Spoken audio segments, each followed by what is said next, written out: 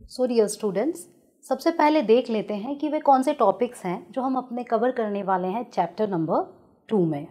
And the topics are first is nutrients in our food food में वे कौन से न्यूट्रिएंट्स रहते हैं जो बॉडी की प्रॉपर ग्रोथ डेवलपमेंट और रिपेयर में नीडेड होते हैं। और यही सारे न्यूट्रिएंट्स रहते हैं जिन्हें हम डिटेल्स में पढ़ने वाले हैं।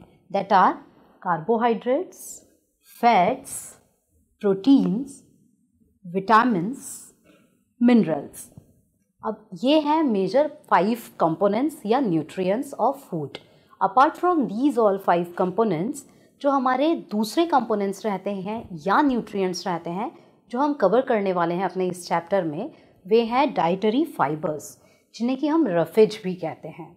Apart from roughage we are also going to cover water because water में भी प्रेजेंट होते हैं बहुत सारे मिनरल्स और न्यूट्रिएंट्स जो कि हमारी बॉडी की प्रॉपर ग्रोथ और डेवलपमेंट में ज़रूरी होते हैं।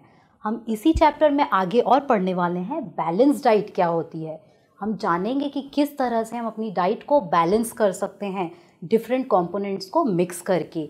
एंड लास्ट में जो हम टॉपिक पढ़ने वाले हैं वो है डेफिशिएंसी डिसीजेस डेफिशिएंसी डिसीजेस मतलब वे सारी डिसीजेस जो हमारी इन सभी न्यूट्रिएंट्स की प्रॉपर डाइट न लेने की वजह से बॉडी में होती हैं। और किस तरह से इन डेफिशिएंसी डिसीजेस को हम एक्चुअली क्योर कर सकते हैं, इन सभी न्यूट्रिएंट्स को अपनी डाइट या यूँ कहें बैलेंस डाइट में इंक्लूड करके।